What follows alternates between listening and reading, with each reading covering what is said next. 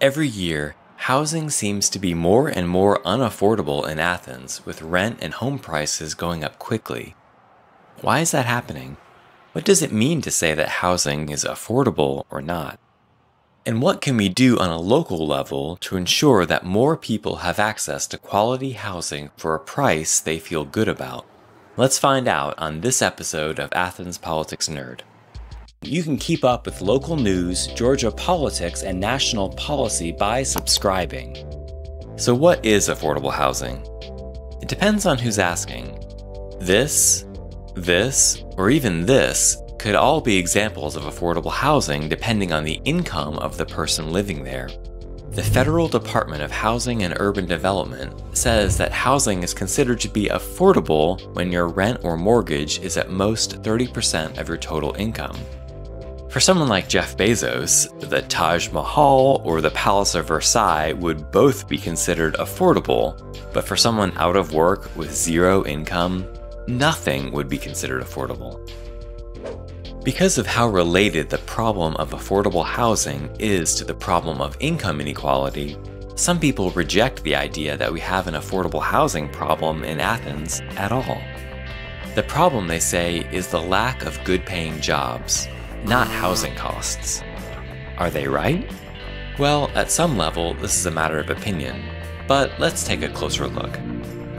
Back in the 80s and 90s, no one was talking about the lack of affordable housing in Athens. REM, Pylon, and Love Tractor, just to name a few. We wanted to find out more about this musical hotspot, so we sent our man Tim Sommer down to take a guided tour of Athens with the B-52s themselves. Athens, Georgia, red clay all-night parties, loud bands, cheap, cheap rents. The low cost of living here was actually one of the main draws for musicians and other creative types. So, while good paying jobs are definitely important, so is affordable housing. But it's becoming more and more difficult, if not impossible, to find those apartments for 250 a month, which used to be fairly common. Wages have gone up since those days, but not by all that much. While the minimum wage has stayed flat since 2009, in recent years the price of an average rental in Athens has gone up by about 18%, or 9% over inflation. To afford an average studio apartment in Athens in 2014, you had to work full time at $11.85 an hour.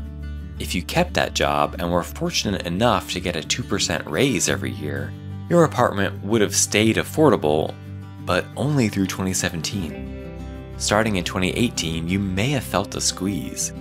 With your rent growing faster than your income, your apartment is no longer considered affordable in 2020. And that's for someone working full time at $13 an hour. Today, half of Athens residents who rent pay more than 30% of their gross income. For people working at $7.25, 8, or $9 an hour, things are even worse. They can't afford the average apartment and might have to look at low income housing, such as public housing or Section 8, instead. Public housing in Athens is run by the Athens Housing Authority. They oversee places like Nellie B, Rock Springs, and Broad Acres. Rent in public housing is capped at 30% of your income, so it's affordable by definition. That's also true for Section 8 housing like Bethel Homes or Clarke Gardens. These are privately owned apartments where the federal government steps in and offers the landlord a subsidy. That ensures no one who lives there pays over 30% of their income in rent. Beyond Section 8, some other private apartments are also subsidized, but to a lesser extent. These don't have guarantees that the apartment would be affordable for everyone, even if rent there is a little lower than the market rate. So there are options available for low income people, but still they don't solve the problem of affordable housing. The subsidized apartments are not affordable for everyone, and there are long waiting lists for public and Section 8 housing.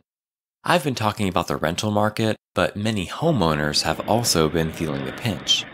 Property values have been skyrocketing in recent years, causing homeowners to pay higher and higher property taxes. While there are many contributing factors, the first reason why homes and apartments are becoming more expensive is because real estate here is limited while our population has grown. Also, poverty has been increasing at the same time, so there's a bigger demand for low income housing now than ever. None of that completely answers the question though. We have limited real estate, but some does exist for new construction. If there's a demand for more housing, won't the market provide it eventually? Not necessarily. The market has its issues, as we'll get into, but government has also put up barriers to affordable housing in Athens. Sometimes zoning codes get in the way, and some types of housing are actually banned here. In areas zoned single family, new houses have to be at least a thousand square feet so forget about tiny houses or shotgun shacks, they're not allowed. New trailer parks also aren't allowed in Athens, and neither are in law suites, also known as accessory dwellings. These are examples of exclusionary zoning because they exclude certain types of homes and maybe certain types of people from living there.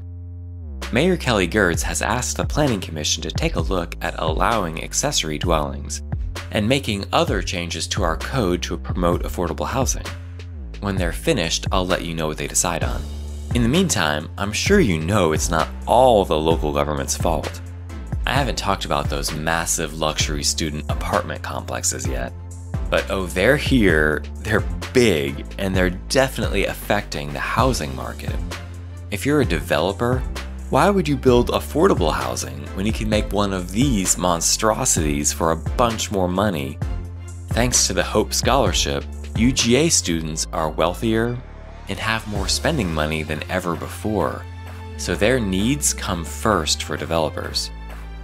From 2000 to 2015, 67% of new apartments in Athens were built for students, and luxury apartments were becoming a hotter and hotter market and in 2008, Airbnb was founded, which added a whole new dimension to this problem.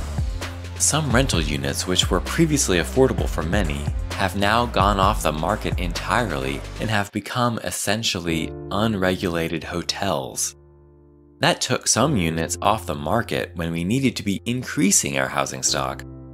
A study of workforce housing in 2016 found that there is a severe deficit in new housing development that is most desired by the workforce in Athens.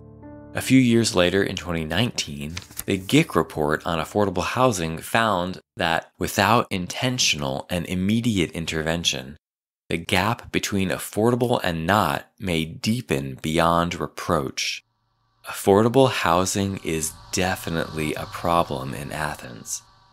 The question is, what can we do about it?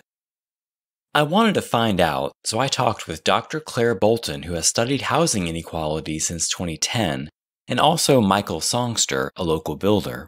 Michael, we all know there's a need in Athens for more affordable housing. Why can't we build more of it?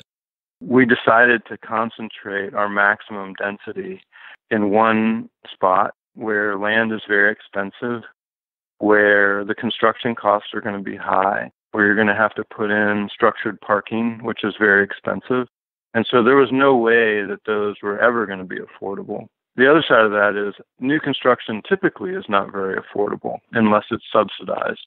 Housing has to age a little while before it becomes less expensive. And so I think that we we've gotten ourselves into a hole where we've undersupplied for a couple of decades, and we just don't have like that older stock that is kind of aging out of being fresh and new and would become more affordable anymore.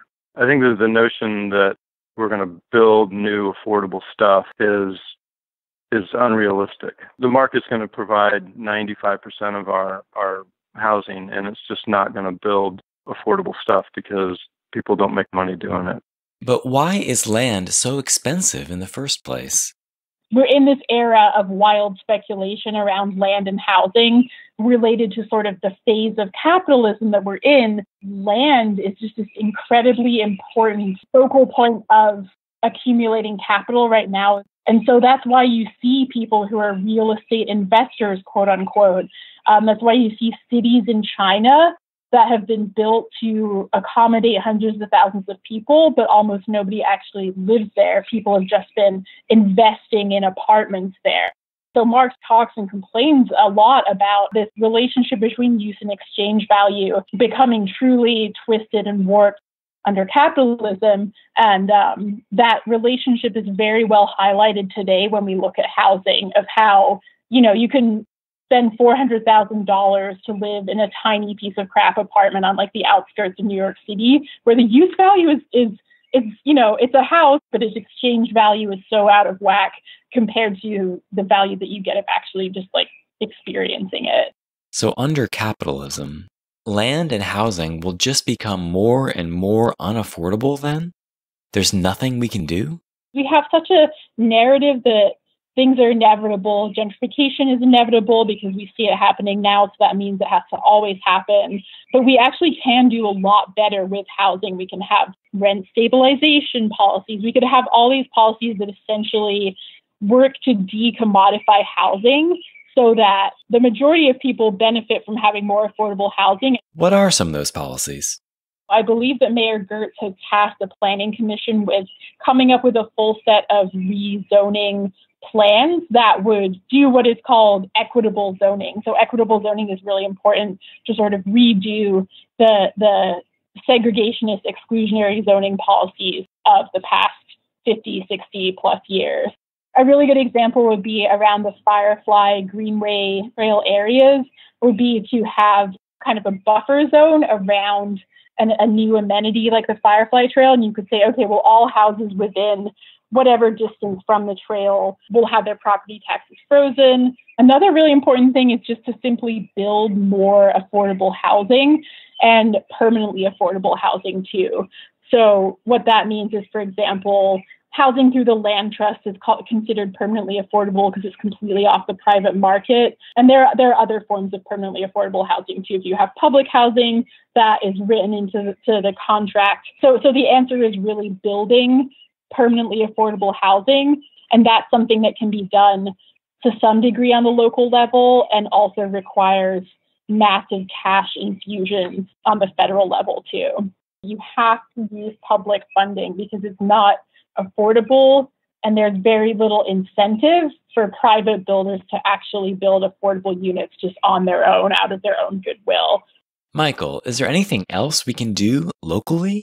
I'm not sure how much control in Athens we have over the larger economic trends in the country, but we do have a control over how we designate land for development and what we prioritize. You know, one of the striking statistics for Athens is that we have, I think, 60% of our population rent, but 94, 93% of all of our residentially zoned land is zoned for single family, not multifamily. We have done several things, I think, over the last couple of decades to remove land from the rental market and make it exclusively single family. I actually don't think that there's one thing that we have to do. There's probably a dozen things that we have to do. I think that smaller scale, sort of organic, naturally derived solutions have worked in the past and probably would work in the future. I mean, how many houses in town used to be divided up into multiple apartments and then got, you know, brought back into single family? We don't really build much small multifamily stuff. We don't do quadruplexes and those are the things that are the you know least expensive from the outset from a construction cost point of view thanks to you both and thanks to you for watching if you'd like to help me make more of these videos you can sign up on patreon to donate a few dollars a month to support this channel you can also give through paypal i'll put both links in the description Thanks so much to everyone who donates. I couldn't do this without you. Bye for now.